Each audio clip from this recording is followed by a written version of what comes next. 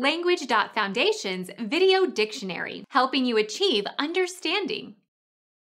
A constitutional monarchy in southeastern Asia on Borneo and the Malay Peninsula. Achieved independence from the United Kingdom in 1957. Malaysia. Become our student and get access to effective and free educational materials.